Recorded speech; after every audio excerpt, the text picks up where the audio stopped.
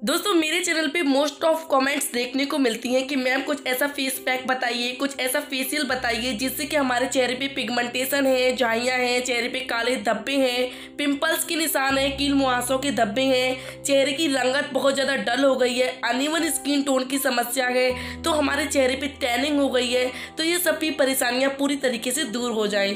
दोस्तों, इसके लिए हम मार्केट में अगर कोई भी फेशियल भी करवाते हैं तो वो काफ़ी ज़्यादा कॉस्टली होते हैं। साथ के साथ फेशियल करवाने आने जाने का भी टाइम चाहिए, पैसे भी खर्च होते हैं और बहुत ज़्यादा टाइम भी लग जाता है। और अगर मैं भी आपके लिए कोई फेशियल बताती हूँ तो फोर स्टेप फेशियल होता है, जो कि आजकल की बिज़ी लाइफ में बहुत ज़्यादा टास्क लगता है। तो दोस्तों, आज की इस वीडियो में मैं आपके लिए इतना बढ़िया सा फेस पैक लेके आई हूँ। सिर्फ़ दो चीज़ों से हमें बना के तैयार करना है, और दोस्तों, ये फेस पैक चाहे आपके चेहरे पे कितनी भी पुरानी से पुरानी झाइयाँ हो, दाग धब्बे हो फॉरहेड पे जो है आपकी पिगमेंटेशन है नोज़ पे है चिक्स पे है, या फिर पिंपल्स कील, मुहासों के दाग धब्बे हैं, आपके चेहरे पे अनइवन स्किन टोन है पिंपल्स के निशान है, या फिर आपके चेहरे की रंगत बहुत ज़्यादा डल हो गई है, चेहरे पे धूप की वजह से बहुत ज़्यादा टैनिंग हो गई है तो यकीन मानिए एक से दो दिन में तो कुछ भी रिज़ल्ट नहीं मिलेगा, लेकिन सात दिन तक लगातार आप इस फेस पैक को लगाते हैं कंटिन्यू तो सात दिन में आप खुद ही देखेंगे आपकी त्वचा की रंगत में, आपकी झाइयों में, दाग धब्बों में इतना गजब का बदलाव आपको देखने को मिलेगा कि आप इसे कंटिन्यू हमेशा इस्तेमाल करेंगे, एक बार लगाने के बाद कभी भी नहीं छोड़ेंगे। दोस्तों, एक तो ये फेस पैक इतना ज़्यादा सस्ता होने वाला है और इतना ज़्यादा असरदार होने वाला है कि आपको खुद विश्वास नहीं होगा। इस फेस पैक के बारे में आगे जानने से पहले आपको छोटी सी बात बता देती हूँ। इस फेस पैक को जानने के बाद इसे यूज़ करने का सही तरीका जान लीजिएगा। आधी अधूरी वीडियो देखोगे तो रिज़ल्ट भी आधा अधूरा ही मिलेगा। वीडियो पसंद आएगा, वीडियो को लाइक करेंगे। चैनल पर नए होंगे, चैनल को सब्सक्राइब करेंगे। तो दोस्तों, इस रेमेडी को बताने के लिए सबसे पहली चीज़ जो आप टाइटल में देख ही चुके हैं, वो है दही। दही के अंदर होता है lactic acid skin lightening skin brightening properties होती हैं। हमारे चेहरे के दाग धब्बों को हल्का करता है। हमारे स्किन पे नेचुरली ग्लो लेके आता है। तो दोस्तों, मैं यहाँ पे एक कटोरी में दो से ढाई चम्मच दही ले रही हूँ, जैसे कि आपने टाइटल में देख ही लिया था। अब जानते हो, दूसरी चीज़ के बारे में दोस्तों, वो है मुलेठी।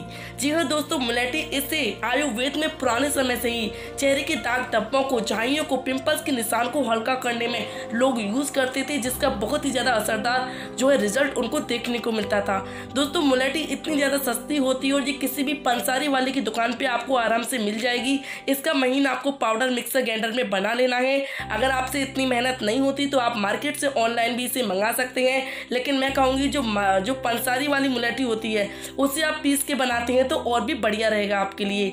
फिर हमें क्या करना है, जैसे हमने लिया दो से ढाई चम्मच दही तो यहाँ पे मैं डाल रही हूँ दो बड़ा चम्मच मुलेठी पाउडर।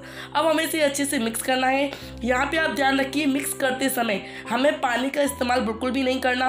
अगर आपको लगता है ये थोड़ा गाढ़ा है, दही की क्वांटिटी आपको बढ़ाती जानी है, इसको मिक्स करते जाना है। तीसरी चीज़ मैं आपको बता देती हूँ, जिसकी बिल्कुल भी ज़रूरत नहीं है ऑप्शनल है। अगर आपकी स्किन को सूट करती है, आपके पास अवेलेबल है तो आप उसे ज़रूर ऐड कर सकते हैं। कर सकते हैं। दोस्तों, वो है नींबू।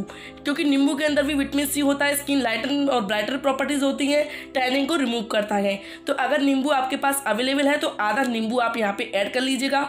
मेरे पास अवेलेबल था, मेरी स्किन को सूट करता था, इसलिए मैं यहाँ ऐड कर रही हूँ। वरना आपकी मर्ज़ी है, आप यूज़ करना नहीं चाहते तो आप इसे स्किप भी कर सकते हैं। उसके बाद आपको इन तीनों चीज़ों को अच्छे से मिक्स करना है। कंसनट्रेंसी अगर आपको लग रही है, बहुत ज़्यादा थिक है तो दही की क्वांटिटी आपको बढ़ाती जानी है। और आप देख सकते हैं, दही की क्वांटिटी बढ़ाते बढ़ाते हमारी जो कंसनट्रेंसी थी वो एकदम बढ़िया बन के तैयार हो चुकी है। इसी तरीके से हमें रखना है इससे हमें थिक ही बनाना है। बहुत ज़्यादा पतला नहीं बनाना। अब मैं आपको बता दूँ, इसे यूज़ करते समय चेहरे को धो लेना है।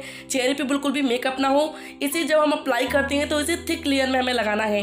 पतली लेयर में अगर आप लगाओगे तो इतना बढ़िया रिज़ल्ट नहीं मिलेगा। अच्छे से थिक लेयर में लगाना है और जब ये नाइन्टी ड्राई हो जाता है, उसके बाद इसको आपको अच्छे से रिमूव करना है। इसको स्क्रब करते हुए रिमूव करना है, जिससे कि चेहरे पर जितनी भी डेड सेल्स होंगी, गंदगी होगी और ब्लैक और वाइट होंगे, वो भी झाइयों और दाग धब्बों के साथ पूरी तरीके से निकल जाएँगे। और दोस्तों अगर सात दिन ही आप इसे लगाएँगे तो सात दिन में ही आपको इतना बदलाव देखने को मिलेगा कि आप मुझे कमेंट्स में थैंक यू बोलने ज़रूर आएँगे। तो दोस्तों, छोटी सी रिक्वेस्ट है प्लीज़ इसे ट्राई कीजिएगा। वीडियो को देखने से कुछ नहीं होता है, उसको इस्तेमाल करना होता है, थोड़े दिन लगाना होता है, तभी आपको रिज़ल्ट मिल पाता है। ट्राई कीजिएगा एक्सपीरियंस कॉमेंट में शेयर कीजिएगा। वीडियो पसंद आया हो तो वीडियो को लाइक कीजिएगा, चैनल को सब्सक्राइब कीजिएगा। वीडियो को देखने के लिए thank you so much bye take care